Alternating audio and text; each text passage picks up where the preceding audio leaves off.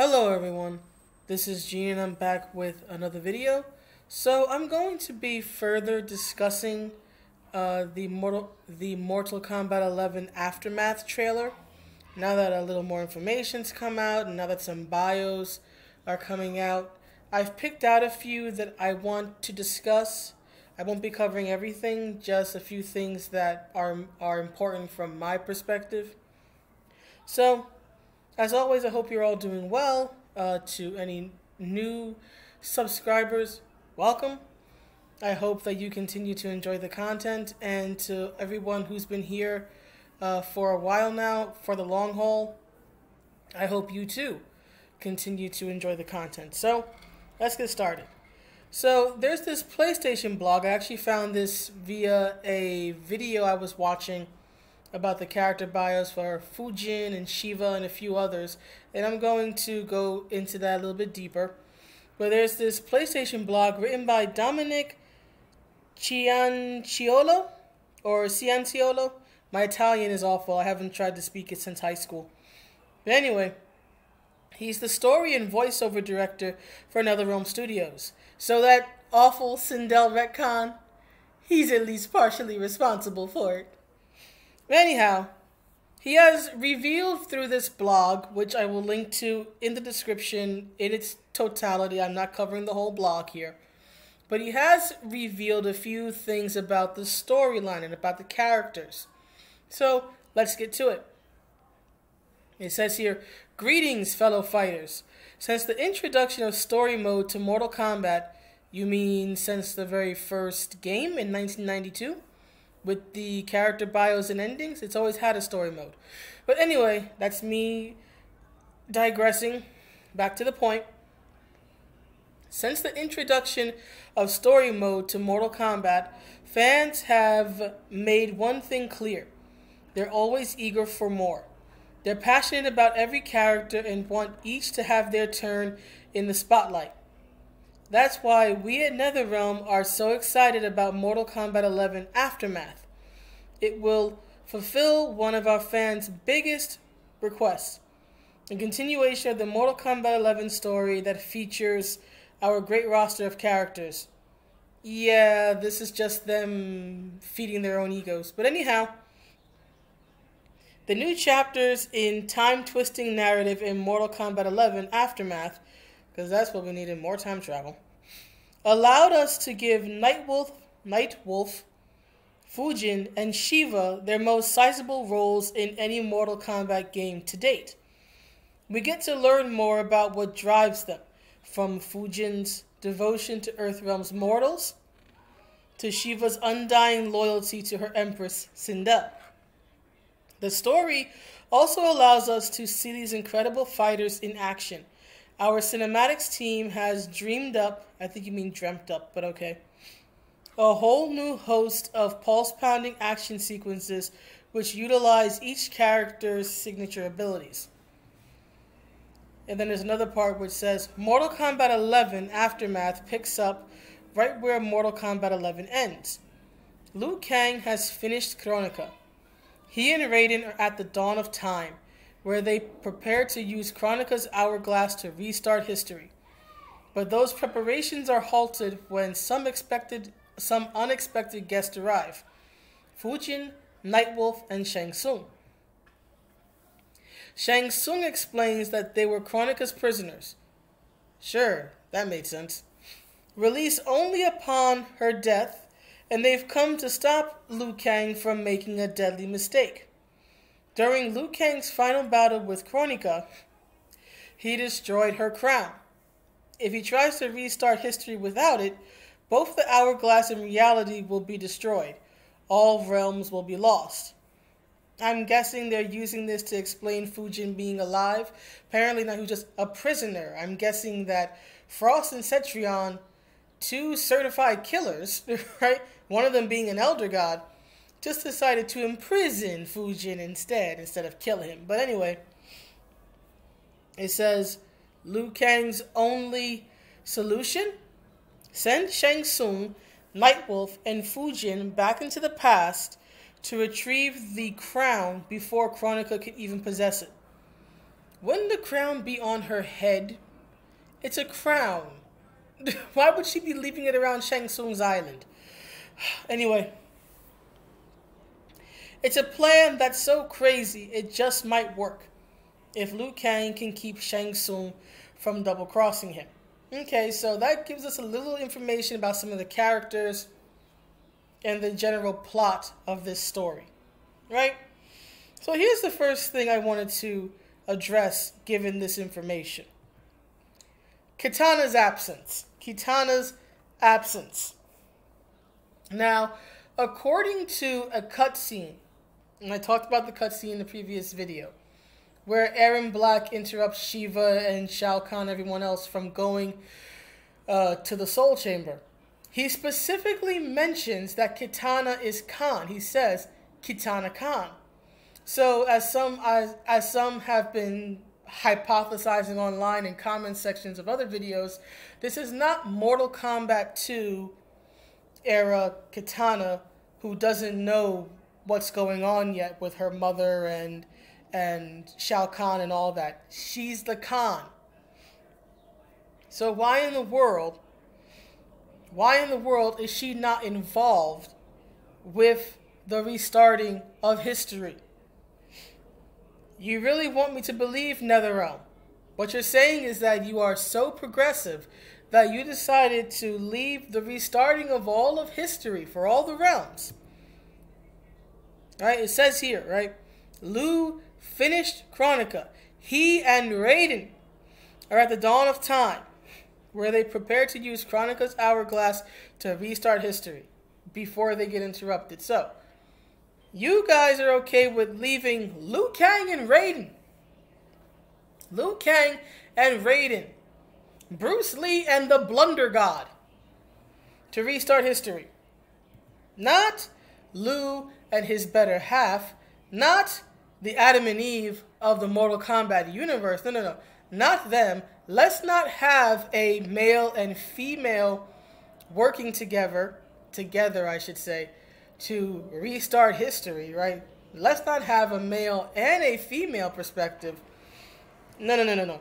Let's leave it to these two men, to the blunder god. Remember, Raiden killed Liu. He killed Liu by accident in Mortal Kombat 9. But let's leave it to these two guys.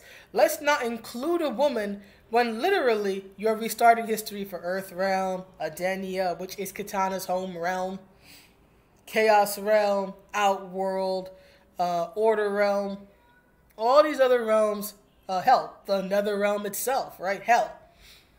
All these different realms. And we're going to leave it to these two guys to restart history. Thank you, NetherRealm. Thank you for being so progressive.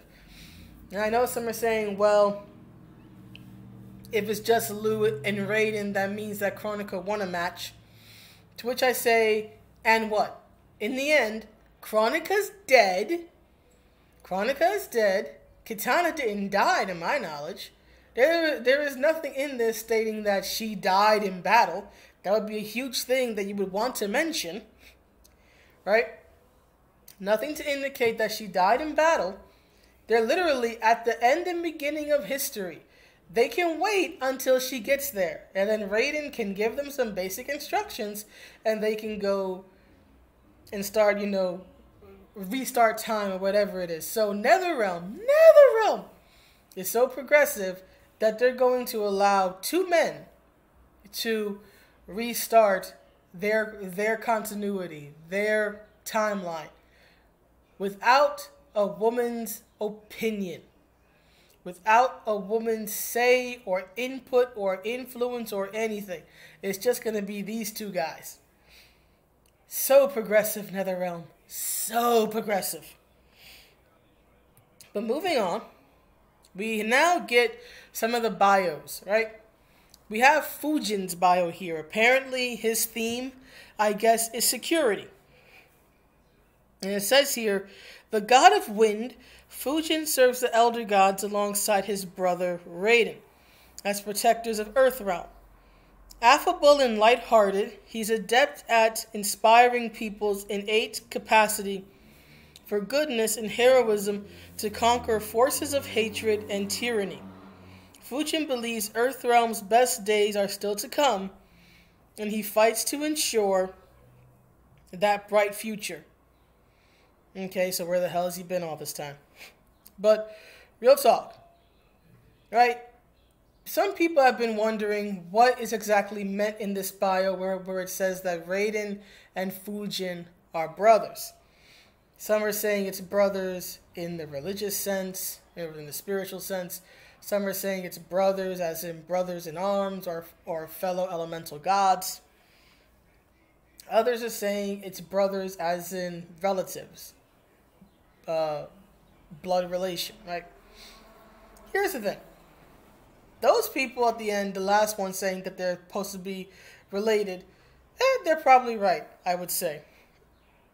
Because I wouldn't put anything past NetherRealm at this point. Honestly, if they're right, if Raiden and Fujin are blood brothers, this would explain why Fujin bears such a striking resemblance to, to James Remar, who played Raiden in the Mortal Kombat Annihilation movie that came out in 1997. I should also point out that that movie also had Raiden, or rather, I say, gave Raiden a brother. The brother in that film was, I think it was uh, Shinnok. I think it was. I should also point out that film flopped badly and is hated by nearly everyone in the uh, fandom. But it did give us some great moments like Sindel's classic, or rather the it's uh, Kitana and Sindel. It's Mother, you're alive.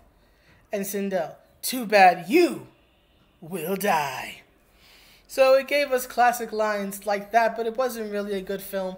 So if it were me personally, I would not be trying to bring back an a element that really didn't work 20 plus years ago. Why do it now? Why does Raiden need a brother? Why do Fujin and Raiden suddenly need to be related to each other? If that's the case. Plus, let's be honest, Christopher Lambert, or Christopher Lambert, however you say it, will always be movie Raiden. Moving on. We now get Sheeva. Yay. I'm so happy. And it says here equality. Yes, I know the song Power of Equality. I like it as much as any other Red Hot Chili Peppers fan, but damn it, we don't need it here. But anyway, it says here because of course it does. The male Shokan scoffed when Sheeva, Sheeva entered their contest to choose the Shokan's next leader. But Sheeva proved herself more than their equal. After a resounding victory, she was crowned the first queen of the Shokan. Didn't King Gorbak have a queen, Queen Mai or something? That's what I'm hearing. But anyway, as queen, Sheeva now leads her people in the fight to attain their rightful place as partners in Earth. Eh, sorry, in uh, Outworld's rule. Oh, the issues I have with this. Number one. Number one. Let's compare this to, or rather, or rather, let's see here. I'm, I'm getting a little ahead of myself. Let's take a look at this for a second. It says here that we we're going to learn more about what drives them, drives these characters, right? From Fujin's devotion, right, which at least is mentioned in his bio that that he believes in the goodness of humanity and that humanity's best days are are ahead. Excuse me. And then it says here to Sheeva's and I and I want to highlight this undying loyalty to her Empress Sindel. I want you to focus in on that. Let's go over this, this bio again. I'm going to read it again. The male Shokan scoffed when Sheeva entered their contest to choose the Shokan's next leader. But Sheeva proved herself more than their equal. After a resounding victory, she was crowned the first queen of the Shokan. As queen, Sheeva now leads her people in the fight to attain their rightful place as partners in Outworld's rule. Where is that undying loyalty to her Empress Sindel? That is not mentioned once in this bio. No mention of Sindel, no mention of the Empress, no mention of loyalty to her, no mention of Shao Kahn. Let's compare Sheeva's bios to some bios she's had in, in earlier games. For example, her original bio in Mortal Kombat 3. Sheeva. She was handpicked by Shao Kahn to serve as Sindel's personal protector. She becomes suspicious of Shokan's loyalty toward her race of Shao Kahn when he places Motaro as the leader of his extermination squads. On the outworld, Motaro's race of Centaurians are the natural enemy of the Shokan. If I had to compare the two, this one and this one, I would say this one, hands down, is the better bio. You know why? Because this bio ties Sindel in to the major players. It ties Sindel in to what's going on. It says here she was handpicked by Shao Kahn to serve as Sindel's protector. She's become suspicious of Shao Kahn because of his alliance with Motaro and the Centaurians. It ties her into the major events of Mortal Kombat 3, which is the resurrection of Sindel that resurrection of Sindel on Earth is what allows Shao Kahn to circumvent the rules of Mortal Kombat and invade Earth. It, it causes a cosmic merger. It merges heaven and hell. It merges um, um, Earth and Outworld. And that's how Mortal Kombat 3 starts. Yes, I am that lore hound for a reason. Right? But let's also look at Sheeva's bio from MK9, right? Sheeva is a member of the four-armed Shokan race. Her markings reveal that she is of the royal, let's focus on this, royal Draco lineage. Like all Shokan, she pledged her life to Shao Kahn, bringing honor to her race by serving him. During an attack by Edenian rebels on, on Shao Kahn's fortress, Sheeva fiercely protected Queen Sindel and prevented her capture. She was subsequently appointed Sindel's personal bodyguard until the Queen's mysterious death in Earthrealm. Sheeva is now the master jailer of Shao Kahn's oppressive dungeon. This is her bio per MK9, which to my understanding was her first and last appearance in the reboot. Right, remember, MK11 is still supposed to be part of the reboot. That, that would mean that at least some of the events in MK9 and MK10, or MKX, whatever you want to call it, are canon. So even in this bio, which was written well over a decade later, the original one that I read was, was 1995. This one is what? 2011, so it's been well over a decade.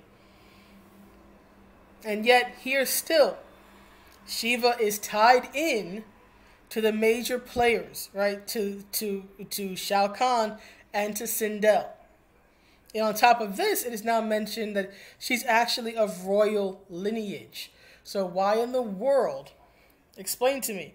Explain to me why in the world a character who is now part of, of a royal lineage, who has proven herself in pretty much every game she's been featured in. It was three, a few of the end titles. I think it was what um, Deadly Alliance, Deception, and then Armageddon, and then she was brought back in nine.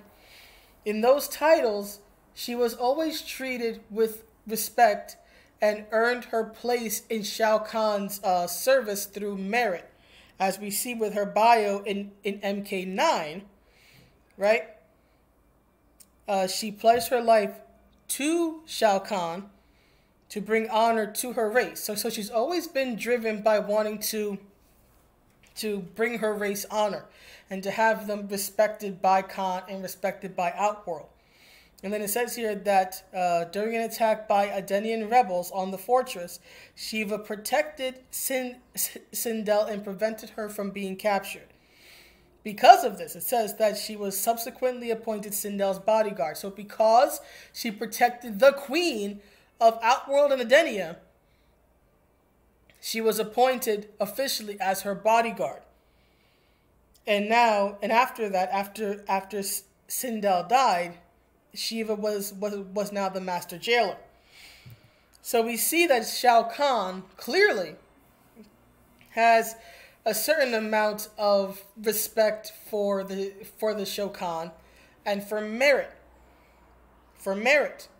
She earned her place in his service through merit. She did a good job, so he gave her an, another task. Why does the character who's always been defined by her pride in being a Shokan and as as was was uh, added in Mortal Kombat 9 is part of a royal lineage. Why does she of all characters need an oppression narrative? Why does she need a I'm overcoming oppression narrative? It makes no sense to me. You know who actually could use that narrative though of overcoming a class or a or a um, systemic uh, oppression of sorts? Kintaro. Let's read his bio as of Mortal Kombat 9. Like Goro and Sheeva, Kintaro is of the four armed Shokan race.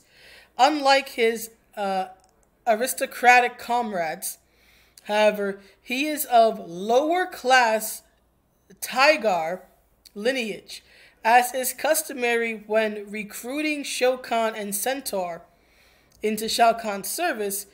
One of each race must face each other in bloody combat. Kintaro killed his opponent and, in an unprecedented act of bravado, roared for more centaur blood. Centaurs leapt furiously into the ring to their demise. This savagery left Shao Kahn to appoint Kintaro as his personal bodyguard. So Kintaro, like other Shokan, proved himself to Shao Kahn, right?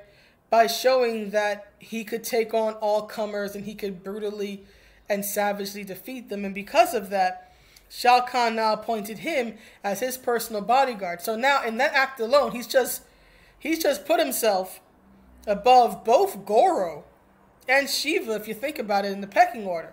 Because Goro was a prince, right? But he was only serving Shang Shang Tsung. Sheeva is the personal bodyguard of the queen, but he gets to be the personal bodyguard of uh, the emperor himself. So tell me again why, why Sheeva needs this oppression narrative. As some may say, well, Jean, that's everything you're mentioning is with Shao Kahn. She's dealing with members of her own race. Yes, but the Shokan have never been depicted in Mortal Kombat lore as being sexist. I have never come across anything saying that Kintaro was a sexist or that King Gorbak was a sexist or that Kintaro was a sexist. Kintaro is an idiot. Right? He's often portrayed as a like over um, over aggressive cocky fool who won't listen but nothing, at least nothing I've ever come across, and I and I played this series literally as I grew up in the 1990s, and I haven't heard anything about. And think about it, Goro and uh, Kintaro and Sheeva, to my knowledge, were, were only featured mostly in Mortal Kombat 9. Maybe Goro appeared in 10. But again, didn't, didn't exactly play a major role. So, where again has there been any mention, any official lore mention of there being sexism or sexist practice in in the Shokan, in in Shokan culture? This is new. This is forced to give a character that does not need an oppression narrative, an oppression narrative. Now, though, Imagine, though, that this were Kintaro instead. I'm going to read Sheeva's new bio again, but this time replacing Sheeva with Kintaro. And you tell me what you think. Kintaro. The male Shokan scoffed when Kintaro entered their contest to choose the Shokan's next leader. But Kintaro proved himself more than their equal. After a resounding victory, he was crowned as king of the Shokan. As king, Kintaro now leads his people in the fight to attain their rightful place as partners in Outworld's rule. Now, I don't know about you guys, but I think that having Kintaro and bringing him back, because they can do that, I think he's supposed to be dead or whatever. Who cares? Everybody in this damn game has died at least once. You can easily bring him back. I think that this bio, defeating all comers, right? Which is exactly what he did in 9. And if this were his bio, he'd be doing here. Defeating all comers, proving that he can fight his way literally to the top, would be the best narrative. This fits Kintaro much, much, much better, in my personal opinion, than this ever could Sheeva. Sheeva doesn't have anything to prove to other Shokan. She would be respected for the fact that she's one of the chosen few who A is already part of a royal lineage and B has served both the empress and the emperor. The at least in my opinion, most Shokan would automatically respect her because of what she has accomplished and who she is already. She's she's essentially a princess in in their uh, uh, culture from the information I've been able to uh, gather. This narrative of having to literally fight your way to the top fits Kintaro much better. But there's one last thing I want to point out about this. Sheeva has always been, always been about the pride of the Shokan. That has always been what has motivated her. Not her gender, her pride as a Shokan and wanting to bring her people honor and respect. This is her bio from Mortal sorry, not her bio. Her ending from MK3. She defeats Mo, Motaro and in a rage brings down Kahn. In freeing the earth, she also frees the outworld. She then returns home and works to restore the pride and respect of her race. The pride and respect of her race. That has been and that should always be what motivates Sheeva. She should be loyal to Kahn up until he ain't loyal to her, but everything she does should always be about her race of Shokan, not her being a female Shokan and having to show up the men or or you know show them that she's as tough as they are. They would already know this. But rather in my opinion at least. Rather, her bio and her motivation should always be about bringing honor and pride and respect to her people, to her race. Because guess what? If she's able to do that, if she's able to bring pride and pride and respect and honor to her race, that will automatically bring pride and respect and honor to the women in the race, both from people on the outside and on the inside. That's just my take personally. But anyway, that's the video. Please let me know what you think. I will see you all in the next one. Have a good day or night wherever you are. See you around. Bye.